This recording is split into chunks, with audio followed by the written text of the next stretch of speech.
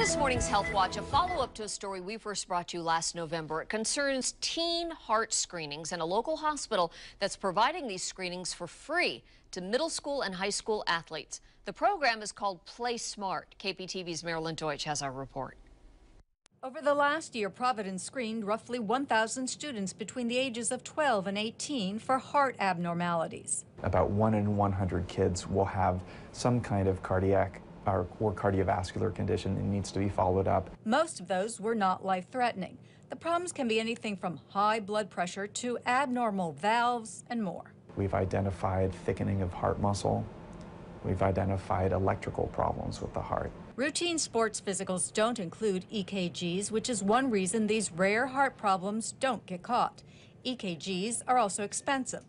Also, sudden cardiac arrest is extremely rare. Roughly 50 to 100 teens die from it every year across the U.S.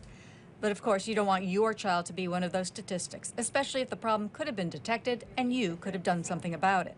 Well, I think it's just for peace of mind.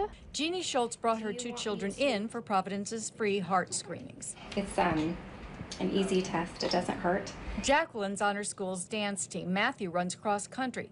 Matthew is mom's biggest concern. He's complained of a tightness in his chest before.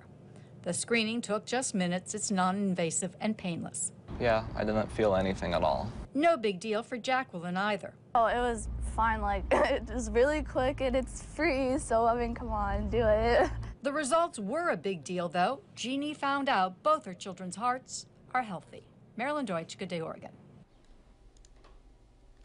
To get more information on the PlaySmart Teen Heart screenings, go to our website, kptv.com, and click on the Providence page. Again, they are free for kids ages 12 to 18, and you can get Saturday appointments.